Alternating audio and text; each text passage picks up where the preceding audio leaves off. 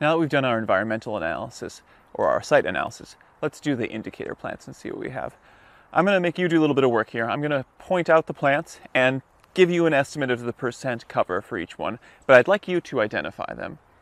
So first, right in front of me here, a big fern. This one should hopefully be pretty easy for you to identify. I see a lot of them off to the side on this side, not so many off of there.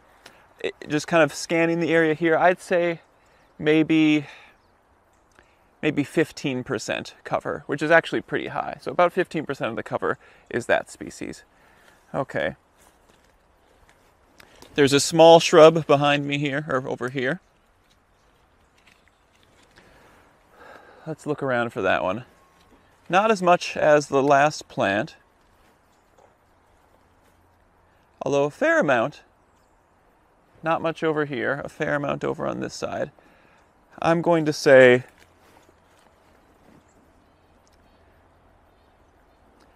I'm going to say 10% cover on that one. These are obviously estimates. Oh, I've got another fern in front of me here. Another relatively large fern. Uh, I see a few of these, but not, not a ton. I'm going to say 1% cover for this, for this species of fern. All right, so that's three species. I've got a species that my feet are caught in right now, growing along the ground pretty dense in this area here. There's some along here too, not right in amongst these ferns. A fair amount over in that area. I'm going to call that 5% uh, cover.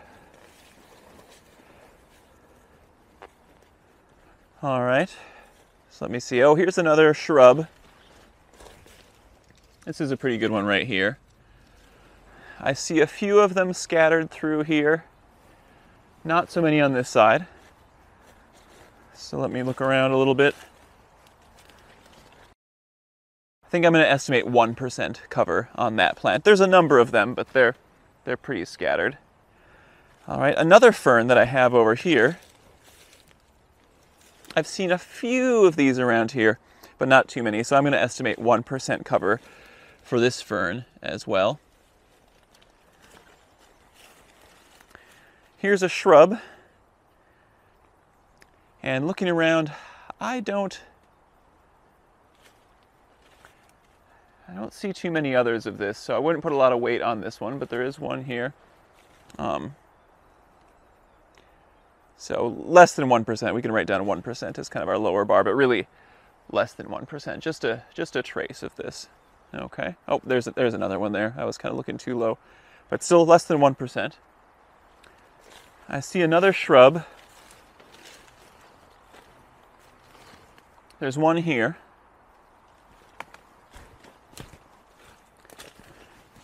There's one over here. There's actually a few, a few of them right back in here. But still not, not especially abundant, just kind of a pocket over on this side of the area where we are. So also, I'm going to call that 1%. So now I have to try to remember, without saying any of the names, try to remember which, which I've pointed out to you. I think I've given you three ferns, maybe three or four shrubs. Let's see, any other herbs? I'm not seeing anything that I haven't, that I didn't point out to you already. And I guess actually the one that I point out to you is technically a, I think it's technically, no, it might be a shrub, might be an herb. It's in a species, it's in a genus that's more often considered a shrub. I can't remember where it's listed on the on the plant guides. I don't see any other any other vascular plant species. Um, I actually don't see a lot of moss in this site either. Let me just look around for a minute for moss.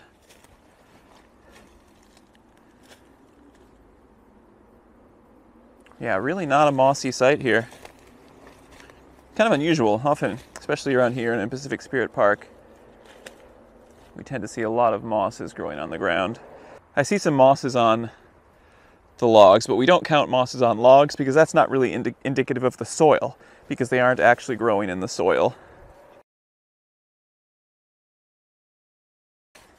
Oh, I do see two species that we won't count. One is um, Eurasian um, Eurasian mountain ash, which is an exotic invasive, and wall lettuce, which is also an exotic invasive. So we won't count those, but just noting that I see them.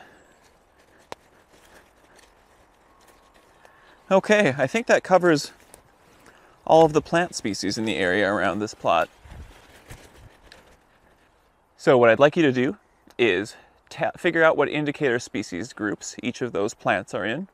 And as I've explained in the other videos showing you how to do the indicator plant process, um, look up the indicator species groups, sum the percent covers by species groups, normalize that, and then see if you can figure out your soil moisture regime and soil nutrient regime from that.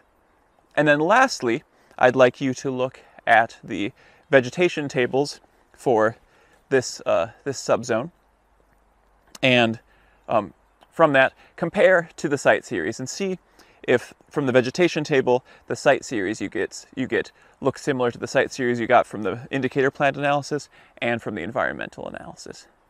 All right, good luck.